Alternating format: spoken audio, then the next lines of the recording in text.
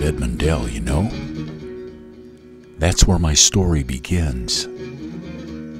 I'd been hearing about these trees popping up, once considered more of a rarity, but now becoming more and more. People were saying that when they were in the presence of one of these trees, their moods dramatically changed and their senses heightened. It was an altered state that could only be described as cosmic. I was determined to see it for myself, so I drove all night.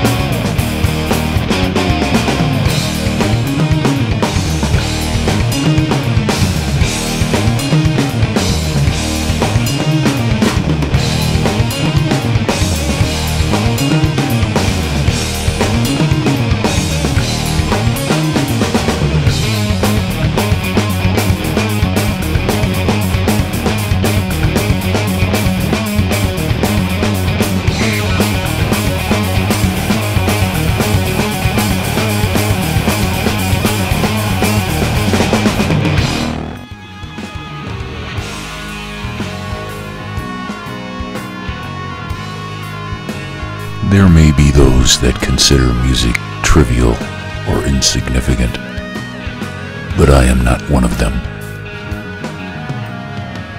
Music can transform an ordinary day into something magical, even spiritual.